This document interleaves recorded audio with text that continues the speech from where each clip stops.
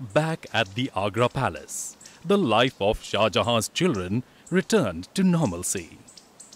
As the sons reached the age of 13, their martial training gained importance. Yet, Dara still continued to focus on academics.